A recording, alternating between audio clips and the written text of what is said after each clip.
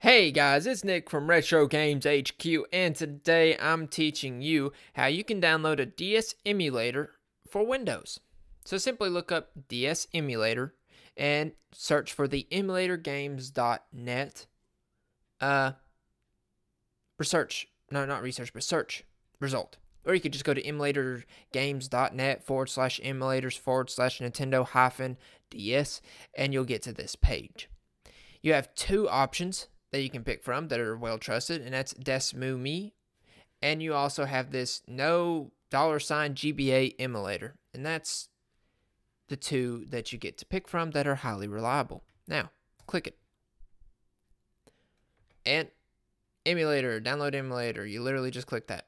That's all.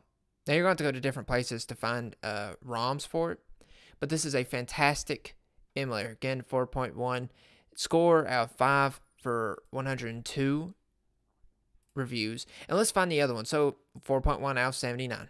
Both are going to be good either way. I personally use DeSmuME on uh, when I have used it on Windows. So that's all for this video, and I'll see you in the next one.